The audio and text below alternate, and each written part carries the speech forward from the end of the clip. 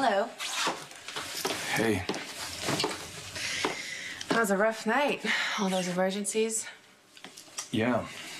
Two car pileup on 11 involving people you know doesn't help. You must be exhausted. I'm all right. Am I the frown? Hmm?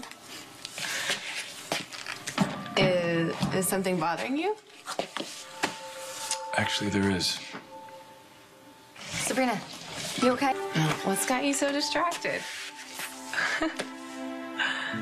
Sabrina, Excuse me, what is this? You have a problem with your babysitter?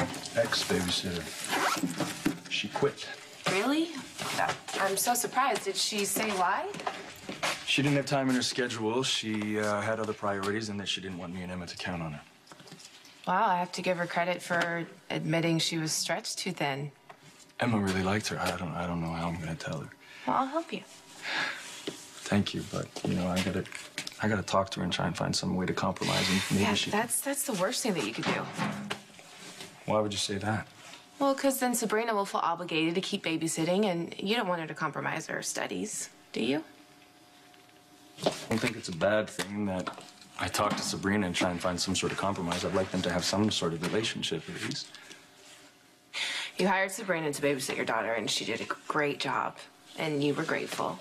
But look, the workload got too much for her, and Sabrina's trying to bow out gracefully. I understand. The nicest thing you can do is let her. I get that, but I feel bad for Emma. Well, she'll get over it. And you just can't make a big deal about it. All right, well, maybe you're right. Hmm? That's not all I'm right about. Yeah, what's that? You really need a shower. I agree.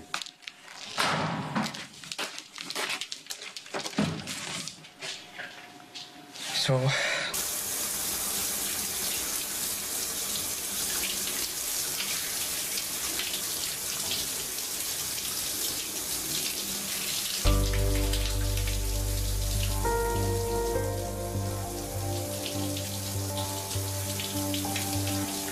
Do you want me to leave?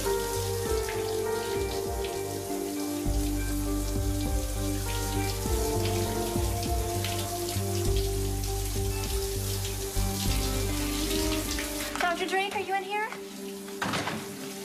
Dr. Drake? I love Drake. Patrick?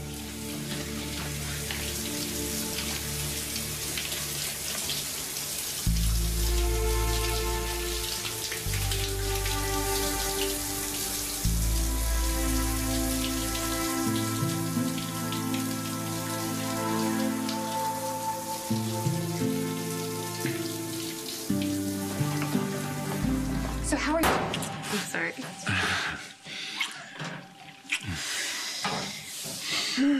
that was more amazing than I expected.